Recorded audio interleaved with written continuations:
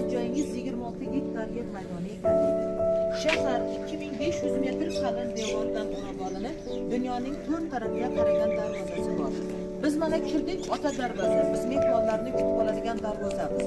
Birinchi choyxona paydo bo'lib aholi soni oshib ketgandan keyin odamlar sig'maganlar shaharning tashqarisiga chiqib nishonxona paydo bo'lgan ellik olti gektar.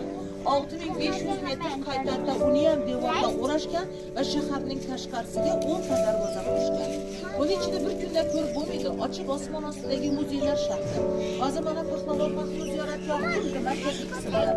Ular vaqtga qarashli hududda tevada bordim desalar pahlavon mahmud ziyoratgohlariga kirmagan